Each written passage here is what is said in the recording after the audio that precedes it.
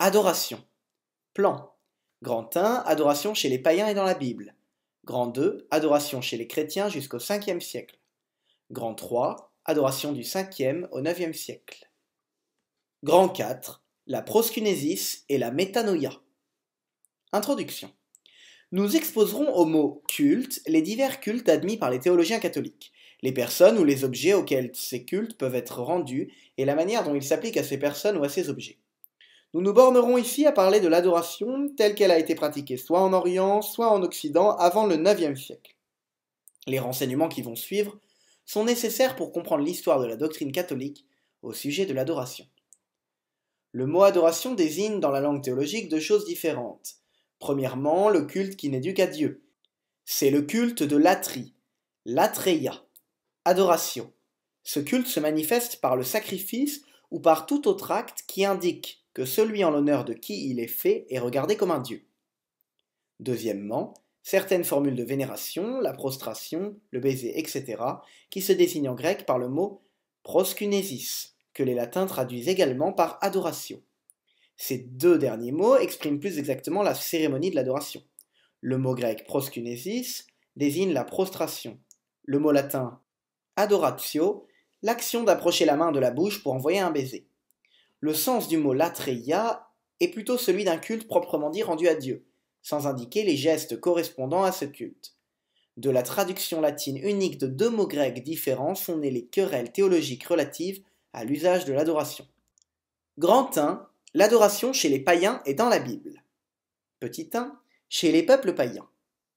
L'adoration, proskunesis, chez les peuples orientaux, était une marque de respect qui consistait à se mettre à deux genoux et à se prosterner jusqu'à terre devant la personne qu'on voulait vénérer.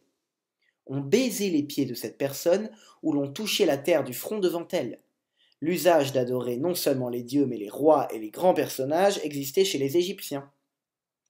Les Assyriens avaient la même coutume, ainsi que les Perses. Les peuples occidentaux, au contraire, refusaient de rendre cet hommage à des hommes. De là, les révoltes des Grecs quand Alexandre voulut se faire adorer par eux, comme il l'était par les Asiatiques qui avaient vaincu. Les Romains avaient la même conception, et lorsque les empereurs voulurent se faire adorer, ce fut pour être traités comme des dieux. Petit 2. Dans la Bible. Les Hébreux, comme les autres peuples de l'Orient, adoraient non seulement la divinité, mais les grands personnages. C'est ainsi que Joseph est adoré par ses frères, dans la Genèse, David par Miphibosheth, par Job et par Absalom. Cependant, c'était plus particulièrement l'acte de vénération rendu à Dieu. C'est pourquoi le premier des commandements donnés sur le mont Sinaï au peuple hébreu contient ce précepte. Tu n'adoreras pas les images taillées. Exode chapitre 20 verset 5. Notre Seigneur dit de même aux démons, qui lui demandent de l'adorer. Il est écrit, tu adoreras le Seigneur ton Dieu. Matthieu chapitre 4 verset 10. C'est aussi pourquoi Mardoché refusa d'adorer Aman. Notre Seigneur reçoit souvent l'hommage de l'adoration à son berceau de la part des mages, pendant sa vie publique de la part de l'aveugle-né, après sa résurrection de la part des saintes femmes. Pierre refuse l'adoration du centurion Corneille parce qu'il n'est qu'un homme. Grand 2. L'adoration chez les chrétiens jusqu'au 5e siècle.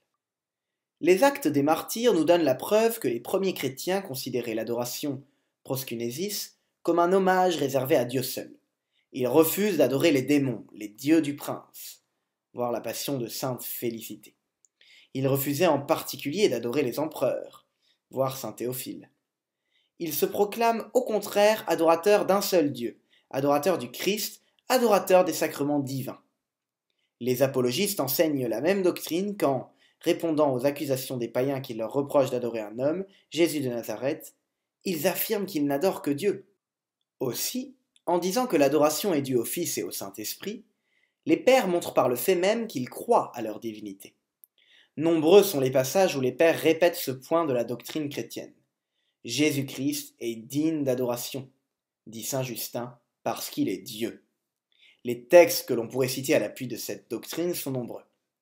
Au contraire, l'hommage de l'adoration ne doit pas être rendu aux créatures, même à la Sainte Vierge. Saint Épiphane condamne la secte des Collyridiens qui adoraient Marie. Elle est vierge, dit-il, et doit être honorée, mais non pas adorée. Elle adore le Fils qui est né de sa chair. Saint Épiphane. L'acte principal de l'adoration est le sacrifice de la messe. Eusèbe, en racontant les funérailles de Constantin, dit qu'on y célébra l'acte de latrie pour signifier qu'on célébra le sacrifice de la messe. Jusqu'au 5 siècle, les chrétiens sont donc d'accord sur ces deux points, que la proskynésis est un acte de culte qui est réservé au souverain maître de toutes choses, c'est-à-dire à Dieu, et que les trois personnes étant une seule et même divinité ont également droit à l'adoration, voir Grégoire de Naziance. Ils ne distinguent pas entre la latreia et la proskynésis, et ils emploient indifféremment les deux mots. Grand 3, l'adoration du 5e au 9e siècle. Les difficultés naquirent lorsque l'on commença à discuter si la proskynésis était une marque de respect qu'on pouvait rendre aux images du Christ, aux reliques et aux images des saints. Alors on réserva le mot de latreia pour désigner le culte accordé à Dieu seul, et on employa le mot proskynésis dans un sens plus général. Mais cette distinction ne devint précise que peu à peu, et c'est ce qui explique les controverses qui troublèrent l'Orient et l'Occident sur ce point de doctrine. Petit 1. En Orient. C'est en Orient que naquit la querelle connue sous le nom de querelle des iconoclastes, parce que ceux qui condamnaient la proskynésis des images allèrent jusqu'à briser et détruire les images elles-mêmes. Remarquons tout d'abord que les partisans du culte rendu aux images ont toujours distingué soigneusement entre les honneurs dus à Dieu seul et les honneurs qu'on devait rendre aux images du Christ, de la Sainte Vierge et des saints, et en général à tous les objets vénérables. Théodore Studite rappelle que dans l'Ancien Testament, on rendait l'honneur de la proskynésis aux chérubins, à l'arche d'alliance, à la table de propitiation, et que cependant la loi défendait d'adorer, proskynein, les images taillées. Les chrétiens, dit-il ailleurs, ont une seule foi, une seule latrie et une seule proskynésis, celle qu'on rend au Père, au Fils et au Saint-Esprit. Théodore Studite. Enfin, dans une lettre, il remarque qu'une inscription placée sous l'image du Christ ou d'un autre personnage doit être appliquée à la personne représentée. Voilà pourquoi il faut adorer l'Évangile, la croix, l'Eucharistie. Tout ce qui est saint doit être adoré, mais il y a des degrés dans la sainteté et dans l'adoration. Théodore Studite. Ces passages et bien d'autres établissent la doctrine et en même temps nous montrent comment les chrétiens ont été amenés à rendre aux images du Christ, de la Sainte Vierge et des saints le genre d'hommage appelé proskynésis. Au temps du paganisme, les statues des princes étaient placées parmi celles des dieux dans les temples et dans les cirques.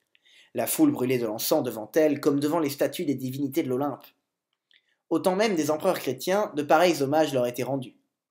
Il n'est donc pas étonnant que les chrétiens aient songé à rendre de semblables hommages aux images de Jésus-Christ.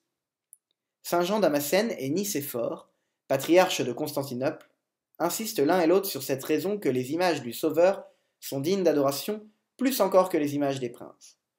L'usage d'adorer les images devint très populaire en Orient et fut surtout favorisé par les moines.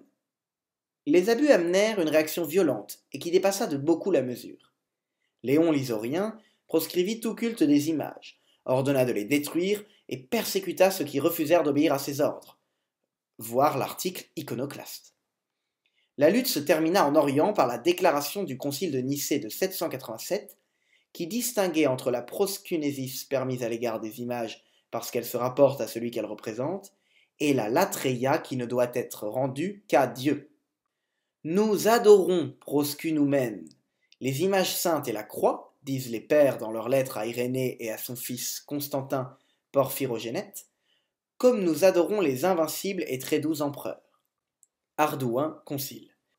Le pape Adrien parle de même dans la lettre qu'il adressa à l'impératrice et à son fils, lettre qui fut lue à la seconde session du Concile. Nous adorons les princes, quoiqu'ils soient pécheurs. Pourquoi n'adorerions-nous pas les saints serviteurs de Dieu? Ardouin, Concile.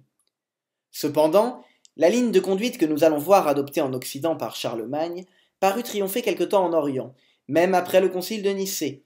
Michel le Bègue écrivit à Louis le Débonnaire pour l'instruire qu'il avait fait détruire les images placées à peu de hauteur, afin que les fidèles ne pussent les adorer ni faire brûler des lampes devant elles, mais qu'il avait laissé intactes celles qui étaient placées plus haut, afin qu'elles puissent servir d'écrit, c'est-à-dire d'enseignement.